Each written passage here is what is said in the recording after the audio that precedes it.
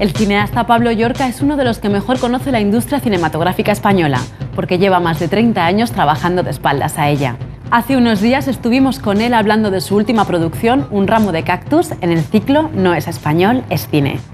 Yo trabajo con el tiempo porque me lo puedo permitir y porque creo que es importante. Con el tiempo he ido eh, cada vez controlando menos y sí es verdad que me gusta mezclar todo tipo de, eh, actuaciones. Vas a las tiendas de video western, cine negro, español, no. Es decir, no, no es un género.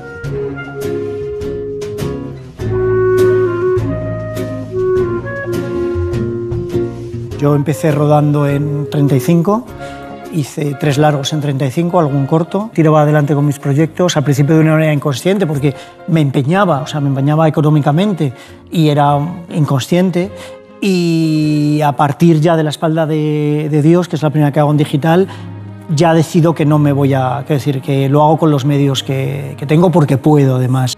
En el fondo, los votantes de ambos están de acuerdo en en todo lo importante y más que nada en un deseo común, hacerse ricos cuanto antes. Se matan con trabajos de mierda para comprarse todas las cosas que no necesitan. han asegurado que la medida no está pensada para que se viva con dignidad. Ponme otra.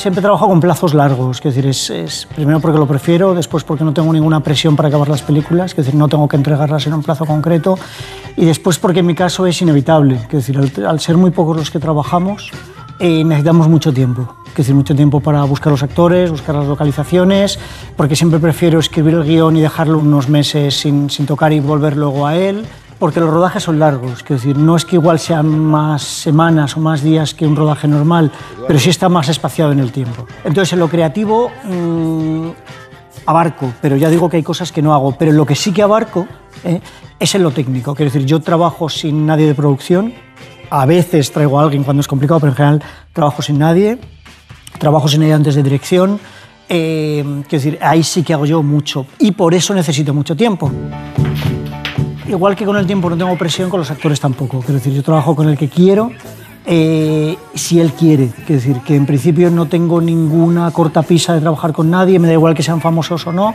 No creo que todo el mundo sirva para todo. Quiero decir, yo creo que, por ejemplo, en lo que hace Pedro Casablanca en la película protagonista solo lo puede hacer un actor profesional eh, con mucha experiencia porque tiene eh, parlamentos muy largos, porque tiene situaciones dramáticamente complejas pero en cambio creo que hay otros papeles, otras apariciones que es mejor que los hagan eh, no profesionales.